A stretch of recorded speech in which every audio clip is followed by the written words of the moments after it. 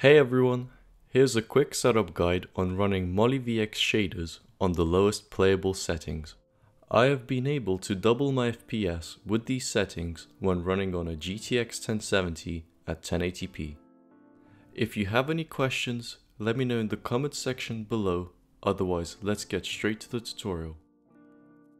First, you'll need to load up MollyVX shaders in video settings and load up a world or server. Once the world has loaded, you can check your FPS by pressing F3 and looking at the top left. Next, pause the game, go to Options, Video Settings, and start by changing graphics to fast, smooth lighting off, make sure the FPS is set to unlimited, and set render distance to 5.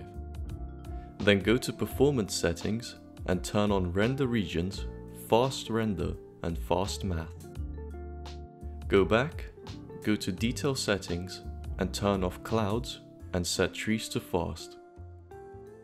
Then go to the Shader menu, go to Shader Options on the bottom right and set Profile to Low. Next, go to Lighting and set the max ray distance to 20, then go to SVGF and set the filter to very light and turn off spatial upscale. Go back once, go to shadow settings and turn off PCSS. Then go back, go to reflections and toggle off reflections. Go back to shader options, go to volumes, water and set the fragments to 1.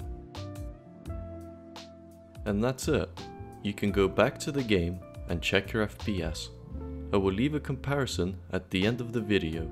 If you found this useful, leave a like and a sub and thanks for watching.